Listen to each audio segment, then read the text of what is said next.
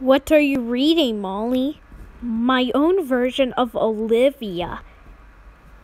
May I see it, please? It's none of your business, bitch. Hey, let me see it now. No, no, no, no, no.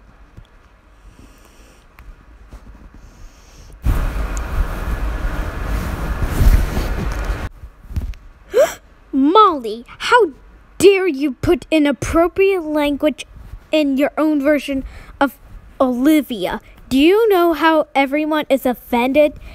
You are expelled from the school. Go home now, and I'm sending a email to your parents, LaDonna and Robin, Miss and Mr. Spunky Gal.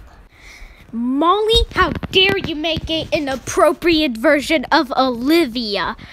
But I worked so hard on it. I don't want it.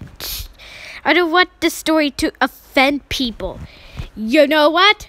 Your father's gonna rip up your disgraceful story. Shh.